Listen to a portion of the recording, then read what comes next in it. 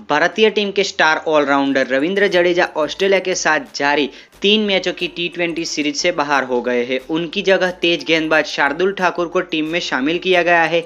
जडेजा का T twenty series से बाहर होना भारतीय टीम के लिए एक बड़ा झटका है, क्योंकि जडेजा टी ट्वेंटी सीरीज़ में बैटिंग और गेंदबाजी दोनों से टीम इंडिया की टीम में अहम भूमिका अदा कर सकते थे, जिसका नज़ारा पहले टी मुकाबले में देखने को मिला। जडेजा को शुक्रवार को कैनबेरा में आयोजित पहले टी मुकाबले के दौरान सिर पर चोट लगी थी। वह कंकशन में चले गए थे और उनकी जगह स्पिनर युजवेंद्र चहल ने गेंदबाजी करते हुए तीन विकेट हासिल किए थे।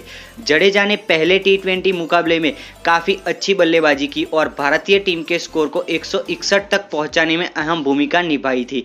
जडेजा ने अपनी इस पारी के दौरान पाँच चौके और एक छक्का लगाया था।